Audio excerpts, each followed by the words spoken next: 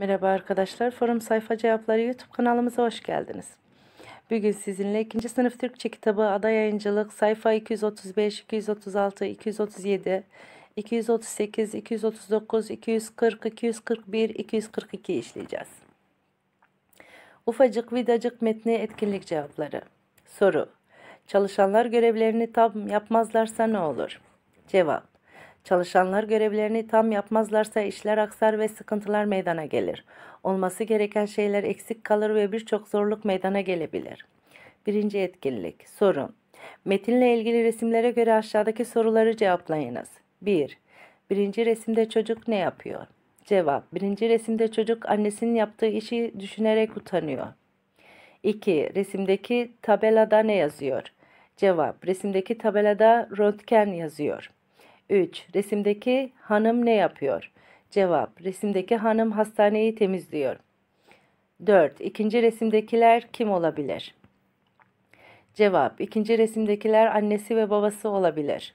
5. Çocuk yüzünün ifadesine göre ne hissediyor? Cevap.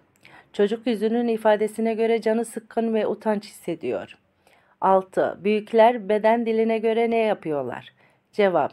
Büyükler beden diline göre mutlular ve bu işten bahsediyorlar. 7.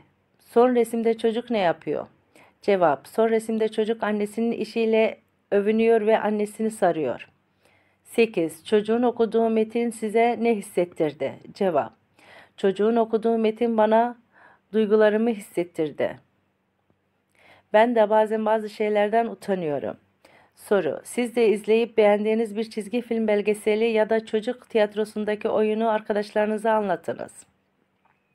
Cevap. Ben Buz Devri diye bir çizgi film izlemiştim. Mamut, Kaplan ve Mirket vardı.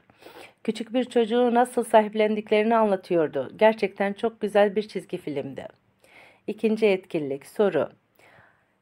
Aşağıdaki olayları oluş sırasına göre eşleştiriniz. Cevap. 1. Aslı'nın annesi bu ay çalışmaya başladı. 2. Aslı hiç başla, hoşlanmıyor annesinin çalışmasından.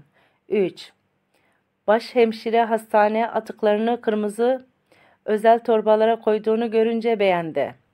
4. Okulda Küçük Vida adlı bir çizgi film gösterildi. 5.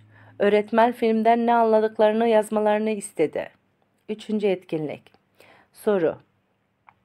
Okuduğunuz metinde ne anladığınız soruları cevaplayarak belirtiniz. 1. Aslı niçin babasının işiyle övünüyormuş? Cevap. Aslı babası sağlıkçı olduğu için işiyle övünüyormuş. 2. Aslı'nın annesi hastanede ne iş yapıyormuş? Cevap. Aslı'nın annesi hastanede temizlik yapıyormuş. 3. Öğretmeni Aslı'nın durumunu fark edince ne yapmış? Cevap. Öğretmeni Aslı'nın durumunu fark edince onlara bir film izletmiş.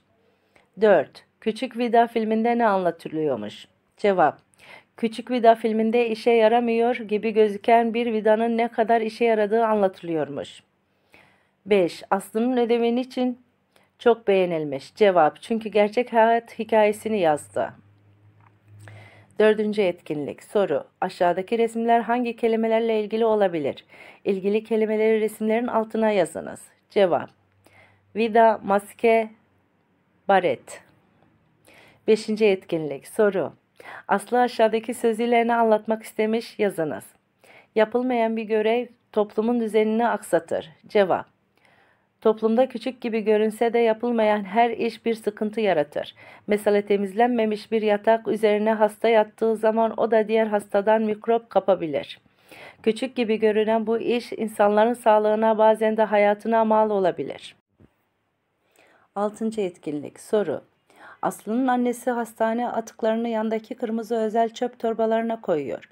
Bunların atıldığı yere niçin dikkat yazıldığını arkadaşlarınızla konuşunuz.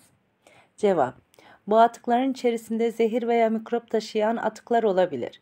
Bu yüzden bunların farklı torbalarda tutulması gerekir ki diğer atıklara karışmasın. Soru Günlük yaşantımızda birçok şekil, sembol ve işaret görürüz. Bu işaretler ne amaçla kullanılır?